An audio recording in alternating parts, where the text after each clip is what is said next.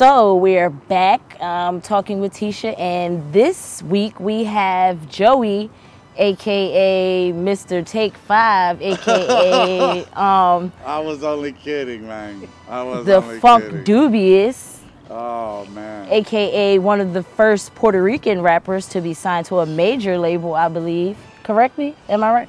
Yeah, yes, ma'am. I mean, yeah, we've been putting it down for a while. I mean, we got the team behind us. Yeah. Mm-hmm. So who who are you? Are you are you Jason Vasquez or are Yeah, that's me right there with Son Doobie in the between, like my middle initial and middle name. So, you know, I've been running with that ever ever since. Uh, yeah, I was born. so like when you get to what's the transformation? Like when did jason vasquez become son doobie for those who don't know? Well, do you know, a long time ago when uh, Jason Vasquez was going to high school, he went to high school with another um, colleague of his and brother and, and mentor, Sean B, Sean Bouldin, from the group called 7A3 that was at the present time signed to Geffen Records, which was one of the first rap groups on the West Coast to get signed to a major record deal. And at that time, they had one of their members still going, you know, doing their academics over at Fairfax High School, where I was attending too. And um, you know, we both had a passion together for hip hop, and we pursued it together. And it was a, it was an honor to pursue that with Sean Bouldin and Sean B. Man, he's an amazing guy. so who are you outside of son doobie like what when does son doobie become son doobie like Man, I mean, Son Doobie, like I said, is the persona of, you know, from, from Funkdoobiest and Soul Assassins, Mama Entertainment, and 7A3 back in the days. And Son Doobie was, um, they decided Brett and Muggs, that name for me, because I had another rap name called Dr. Ilson. oh And uh, yeah, it was he was a it was another persona because we wanted at that time it was um 89 and from 89 to like 91 you had a lot of like um, eccentric artists out there like Son of Bazerk you had the Bomb Squad Flavor Flav from Public Enemy with 911 and you just had like um, you know Chubb Rock you had like these um, um, rappers slash superheroes that were just out there on stage Superheroes. you know inspiring hope to the new um, masses Right. that generation for that time. So I wanted to come with something that would shock people, that would turn heads, or at least get their attention enough for me to get my message across to them. So I chose Dr. Ilson. But then when we did Funkdoobiest, they changed it to Son Doobie because of the word dubious.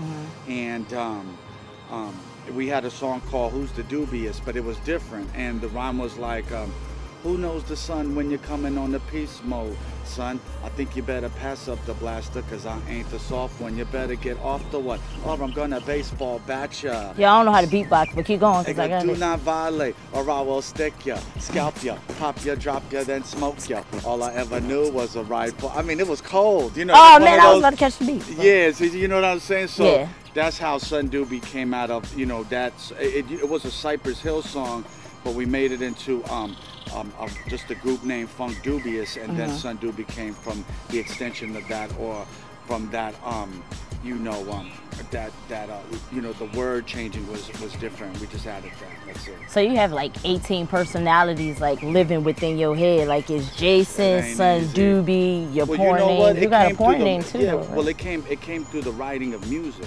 Mm-hmm. and then it was so crazy when they started to hear what I was saying in the in the in the verses. They was just like, oh, then you should. They started giving me their own advice and came- Right. Okay. So let's talk about the Cypress Hill, or what what what came first, Soul Assassins or Cypress Hill? Like when No, people Cypress approach you. Hill Tribe came before Soul Assassins. Soul Assassins was started in New York with Renee when Muggs got the first Soul Assassins tattoo, Mm. and I was running with him, seeing. I almost got one of those tattoos too, but. Peer pressure. Brett was, you know, Brett was like, whoa, whoa, whoa, whoa, relax. Remember, you know, it's all good because that's Muggs's, that's his lane. Right. You know what I'm saying? I had to do my lane, and um, that was it, man. It was just, um, they were all there, and we had the Booyah tribe with us, and we had Ika, we had Schoolboy, we had all the Samoans on our team, and you know they had they had long gangbanging ties. So with that, and then the extension from New York, we were unstoppable. And then um, the next thing you know, um, Everlast got the Soul Assassins tattoo, and then B-Real got the Soul Assassins tattoo, and you know it was all complimentary to the um, to the production crew. And I did it in a different way where I was more like a more I like to get my fashion on I like to get my jewelry my accessories Mm-hmm. I'm a I'm a more like sophisticated and more eccentric person on stage as, suave. as far as to like these other dudes who just get up that they're tatted inked up and you know do whatever you know what I'm saying but when I get up and do that I come from entertainers like Brett Bouldin and Sean Bouldin from 7A3 where we came from a, a, a genre of hip hop where um, you know, if you said you were sorry, you could get punched in the face for that. You know what I'm saying? Real so raw. we didn't need tattoos and none of that stuff. Right. Yeah. So like I know the son Doobie. I know it's from Cypress Hill. But but like explain who you are outside of Cypress Hill. Like where where does the sun or the funk, whichever, you know. Well, you know what? I'm, I'm a like a down to earth, quiet. Um, I'm a hermit. I like I stay. You know, I keep a Bible close to my um, bed counter and stuff like Right. that. And I'm more. I I don't. I don't really. Um, when I go out at nighttime and I meet people and I do the club thing, I'm very sincere and genuine. I don't be trying to like. I'm not looking for meal tickets and I'm not looking to make out anyone to be a meal ticket. And I'm Right. not chasing men or women. And I'm out there trying to really network and trying to save a culture that right now I can see it just needs a little help. And that's when Sean B told me to step it up.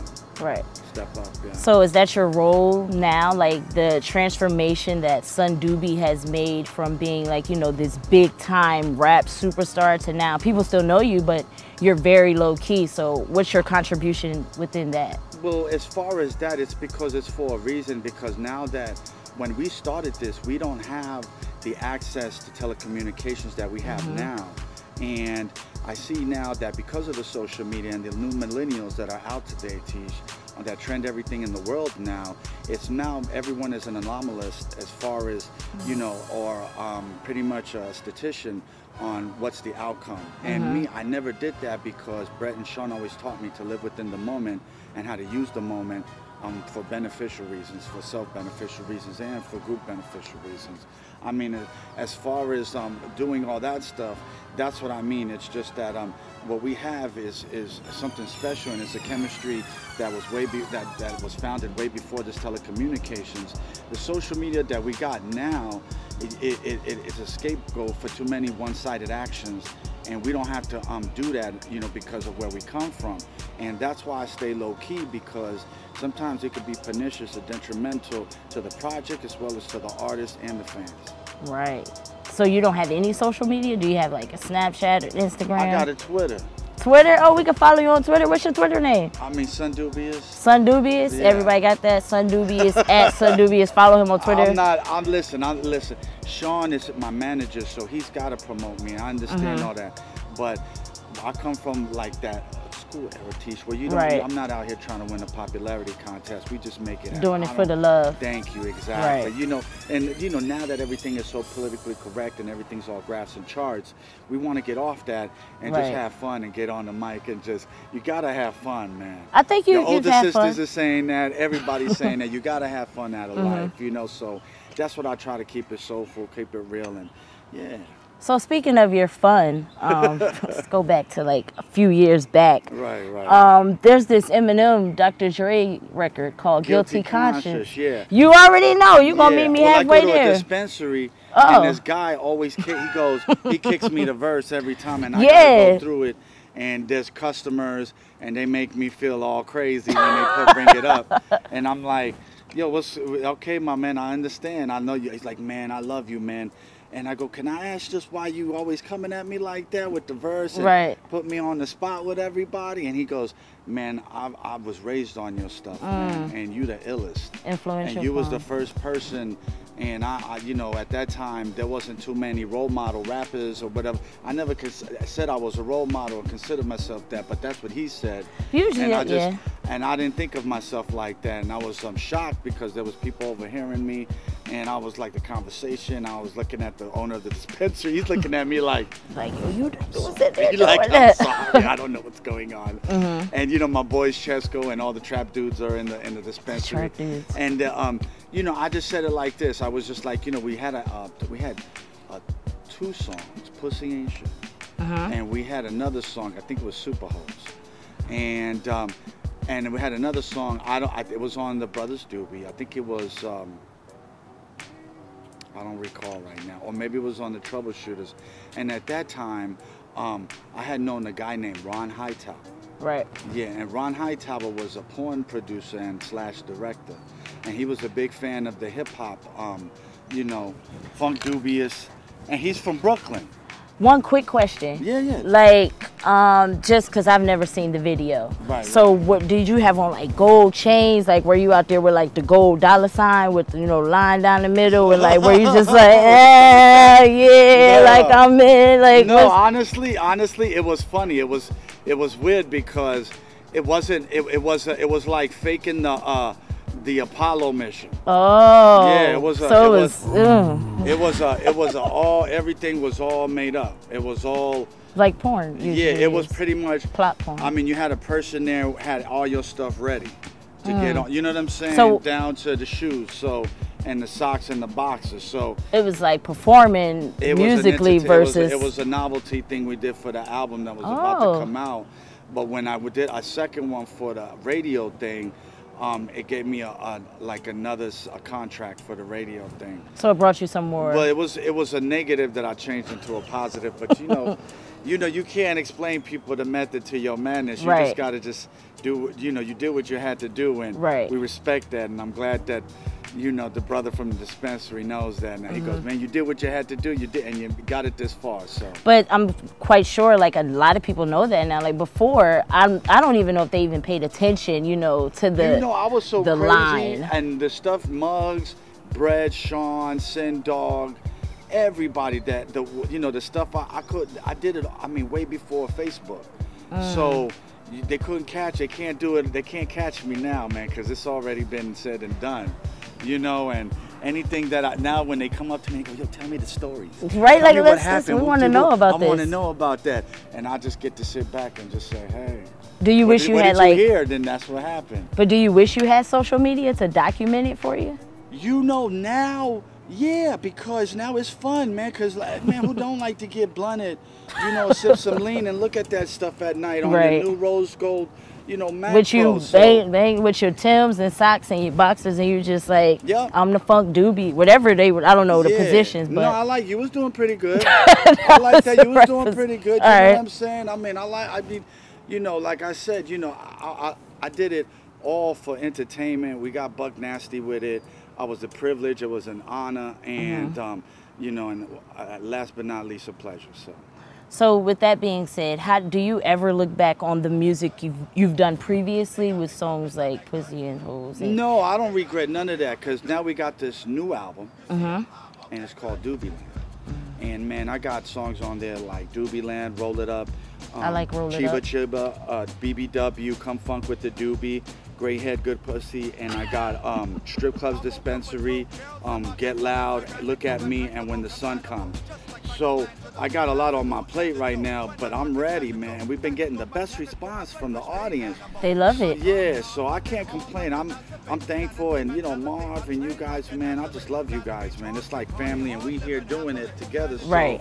I'm excited, man. It's all coming back around, but this is what we did last time, so I'm I'm loving it, man. Everything's like, you know. Plus the summer's coming up, Warm and you know, outside. like I said, Get your man. toes out. Yeah, exactly, man. You ain't never seen the sunset. it's Heck so yeah, beautiful. So, I mean, yeah, so you know, we're doing the damn thing, and, and I love it, man, because everybody's getting involved, and I seen the footage, and I seen the shots y'all been taking, Mm-hmm. and I mean, it's it's, I mean, PH, I mean, D, PhD, phenomenal, amazing. So how does it feel like for those who who don't know the Sun Dubious, the the brand or the Funkdoobiest brand, from Cypress Hill to Soul Assassins to being in a porn to doing everything, come I back mm, mean, now. Yeah, Tish, we've been, like I said, we've, I mean, we've been blessed to go at parts and corners of the earth to entertain and bring our material to everybody.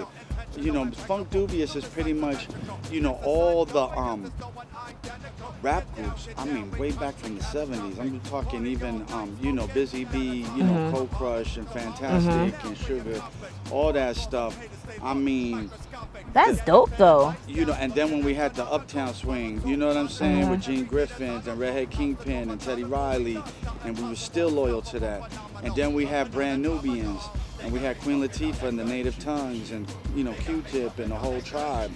And then Now it came to Soul Assassins, and we had Soul Assassins. With like and 30 Soul people. Assassins, we went, we went crazy. We went all over the place, and Mm-hmm. people liked it. And then people got more into the um, X Games and more into the outdoors, and we gave birth to this new generation of some ball-headed MCs or, or you know these pale rappers or whatever's, and they just did their thing. Or we had the brothers go into, off into that um, alternative rap as Mm-hmm. well. You know, out there, you know the Lupes, you know what I'm saying? All the other rappers out Right. there doing it.